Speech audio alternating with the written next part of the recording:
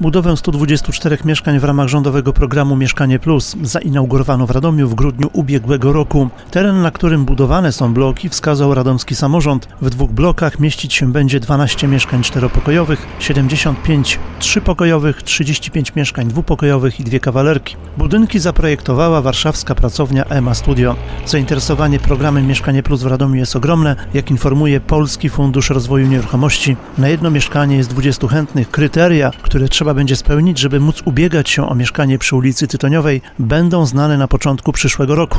Radom jest drugim miastem na Mazowszu, gdzie rozpoczęła się budowa mieszkań w ramach rządowego programu Mieszkanie Plus. Pierwsze klucze mają być wręczone pierwszym lokatorom jesienią 2021 roku.